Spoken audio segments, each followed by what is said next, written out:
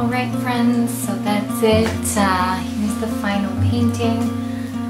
I'm really happy with it for this late night session